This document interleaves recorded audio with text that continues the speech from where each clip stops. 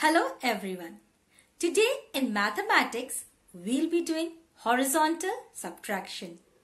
We have already done subtraction with objects and pictures and today we'll be doing horizontal subtraction. So I'll be doing what? First teaching you all how to do the horizontal subtraction. Then we'll be doing a few sums in our mathematics pencil time. We all know subtraction means take away or minus. Yes? And so, let's see how to do it. A PDF for the same will also be uploaded.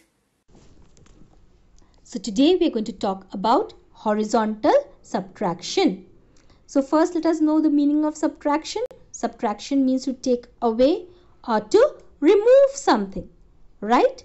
And horizontal means sleeping line the sign of subtraction is a small dash which is like a sleeping line, a small sleeping line.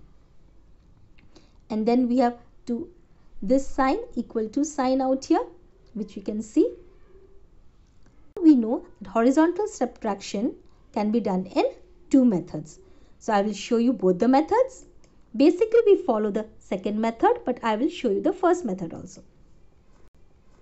So the first method is 5 minus, it is also called minus 2 and equal to sign. So now there are five triangles you can see and you have to take away or minus or remove two triangles. So how many triangles are left? So you can see I've crossed two triangles. Now how many triangles are left? One, two and three. So we can say that there are three triangles left. The method will be with the help of fingers. Can you see there are five fingers out here? And what we have done?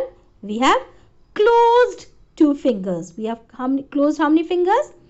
Two fingers. So now how many fingers are left?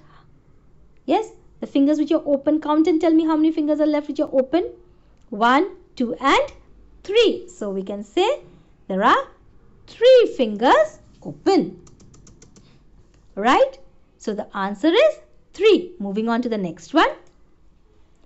Now there are five fingers and how many fingers have you closed now? Three fingers? Yes. And how many fingers are open? Two. Right? So the answer is 2. Yes, we should remember that we have to count the fingers which are open for the answer. There are 5, 6 and 7 fingers. Now out of the 7 fingers, how many fingers you have to close? Two fingers. How many fingers do you have to close? Two fingers. So how many fingers are left? Yes, count and tell me how many fingers are left. If you close two fingers, how many fingers are left?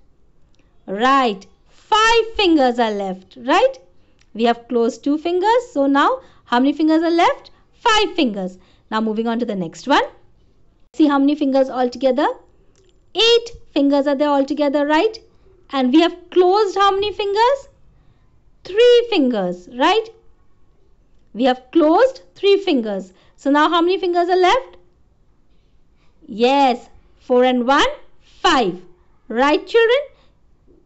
So in a similar manner, I will be showing you all in your mathematics pencil time how many fingers, how to do the horizontal subtraction. So in your mathematics pencil time I will be showing you all how to do your horizontal subtraction.